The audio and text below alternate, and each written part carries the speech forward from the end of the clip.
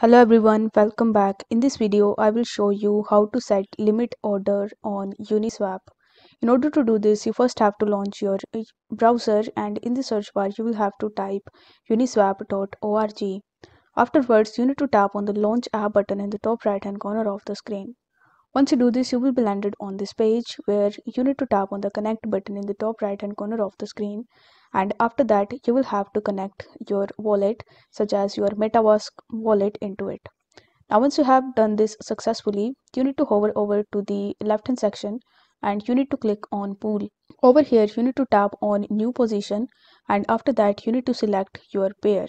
For this video i have selected bnb and usdt then you need to tap on the edit tab and it will show you all of the fee tier now over here you will have to select the range as 0.30% as it is best for most of the pairs.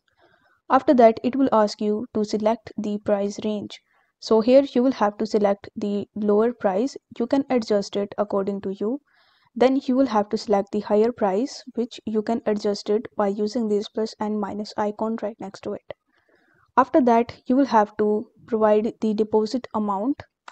Then it will take the USDT after that, you need to tap on the confirm button in the bottom in order to confirm it and this way you will be able to easily set limit order on Uniswap.